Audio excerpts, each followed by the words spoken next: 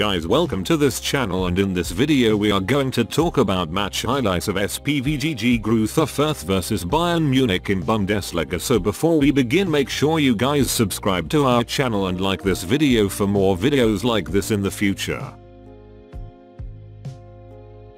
Bayern Munich eased past hosts Greuther Fürth 3-1 on Friday, despite playing almost the entire second half with 10 men to open up a 3-point lead at the top of the Bundesliga. But Bayern top scorer Robert Lewandowski saw his scoring streak snap after failing to equal Gerd Muller's all-time record of scoring in 16 consecutive league games.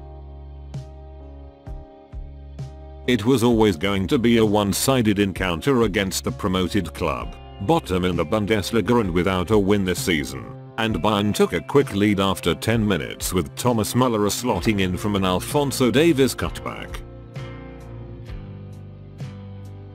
Joshua Kimmich was devastatingly accurate with a low drive on the half hour to score his third league goal, after netting twice last week, and Lewandowski hit the woodwork just before the break.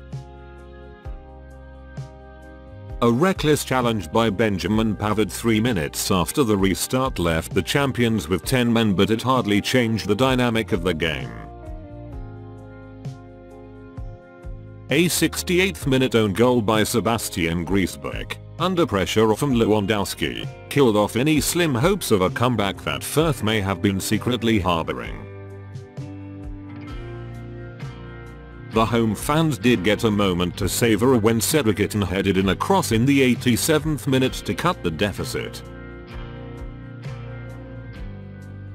Bayern, who take on Dynamo Kiev in the Champions League next week, move up to 16 points from 6 matches, with VfL Wolfsburg on 13 in second place, travelling to Hoffenheim on Saturday.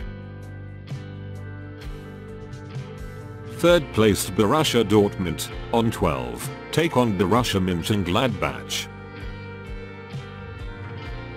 I hope you guys enjoyed today's video so make sure you guys like this video and subscribe to our channel for more videos like this in the future. Have a great day ahead. Goodbye.